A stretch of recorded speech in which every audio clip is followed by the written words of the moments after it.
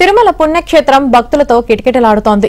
వరుసగా సెలవులు ఉండటంతో తిరుమలకు భక్తులు పోటెత్తారు. నడక మార్గంలో భక్తులు రద్దీ పెరిగింది. దీంతో వైకుంఠం క్యూ కాంప్లెక్స్లోని అన్ని కంపార్ట్మెంట్లు భక్తులతో నిండిపోయాయి. నారాయణగిరి ఉద్యానవనంలో ఏర్పాటు చేసిన షెడ్లు కూడా భక్తులతో కిటకిటలాడుతున్నాయి.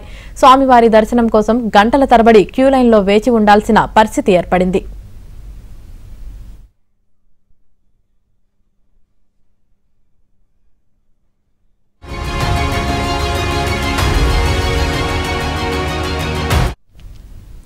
భక్తుల రద్దీ రేపటి వరకు కొనసాగే అవకాశం ఉండటంతో టీటీడీ అధికారులు ప్రత్యేక ఏర్పాట్లు చేస్తున్నారు. భక్తులకు అన్న ప్రసాదాలతో పాటు త్రాగునీరు మజ్జిగ ప్యాకెట్లను పంపిణీ చేస్తున్నారు. రద్దీ నేపథ్యంలో గదులు దొరక్క భక్తులు అవస్థలు పడుతున్నారు. దీంతో పార్కులు షెడ్లలో భక్తులు తలదాచుకుంటున్నారు.